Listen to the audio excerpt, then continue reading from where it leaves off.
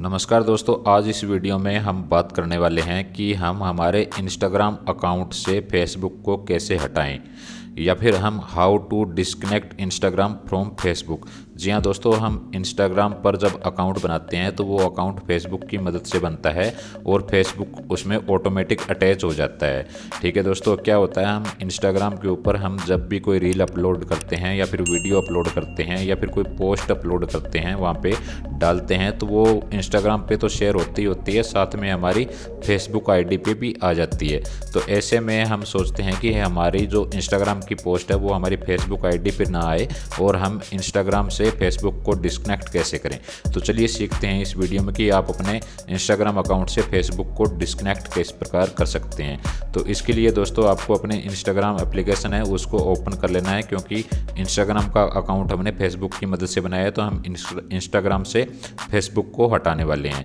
तो हटाने के लिए आपको अपने इंस्टाग्राम एप्लीकेशन को ओपन करना है और आपको नीचे आपकी प्रोफ़ाइल का आइकॉन दिखाई देगा, आपको अपनी प्रोफ़ाइल आइकॉन पर क्लिक करना है।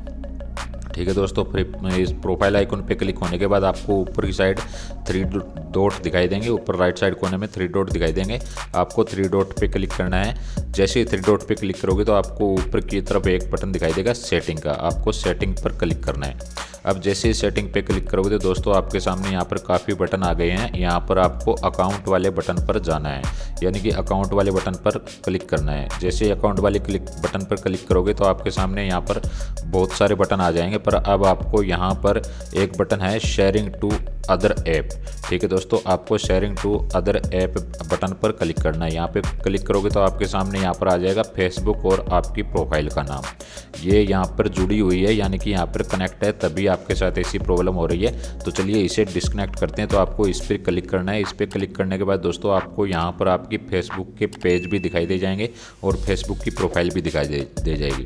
आपको इन पर इनमें से किसी को छेड़ना नहीं है आपको नीचे आना है। और अकाउंट सेंटर पर क्लिक करना है। जैसे ही आप अकाउंट सेंटर पर क्लिक करोगे तो आपके सामने देखिए आपकी फेसबुक की वो प्रोफ़ाइल आ गई है, जो आपके इंस्टाग्राम अकाउंट से लिंक है, आपको ऊपर आपकी प्रोफ़ाइल दिखाई दे जाएगी।